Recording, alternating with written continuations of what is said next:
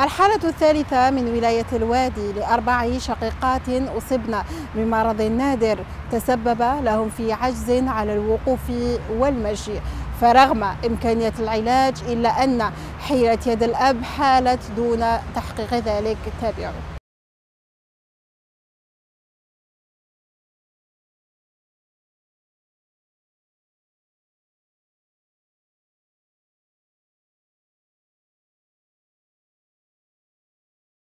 سنة تبرك البركة نتاعها نجي من البركة هذه ويني؟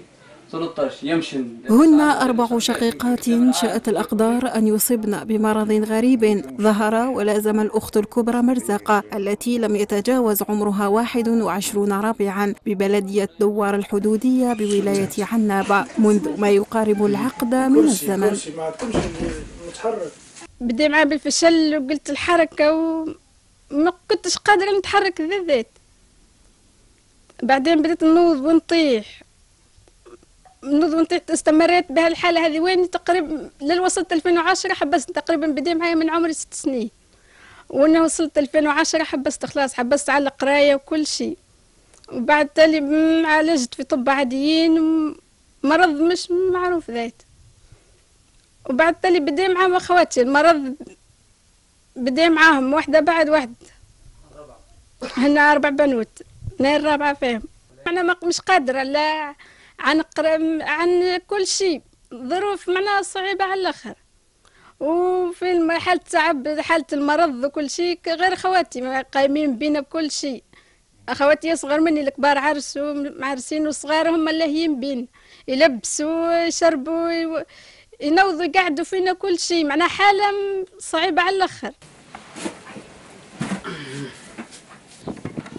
عجز في الحركة بشكل نهائي وشلل في كافة الأطراف يبدأ بوهن في الأطراف الأربعة وصولا إلى شلل تام ونهائي.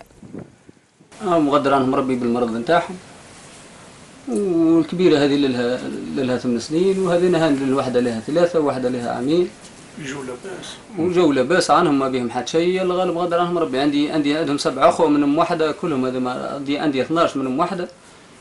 هذوما الأربعة هانجو هكا وكاين الأصغر منهم لبس عنا والأكبر منهم لبس عنا. والجهة اللي قدام تجري وتمشي وتمشي دون العام. طلبوا إن شاء الله من جماعة الخيريين وجماعة الدولة كاش ما يعاونوهم يعاونوهم. يسمى تورا البنوت هذينا يسمى تعبات تعب الفايت اللازمة.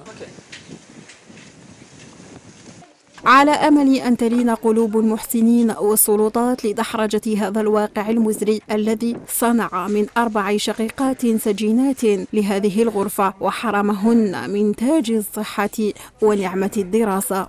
تمشي على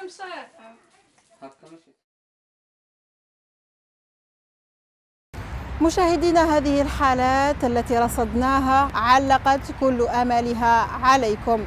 علها تجد آذانا صاغية منكم ومحسنين يتكفلون بهم. إلى اللقاء.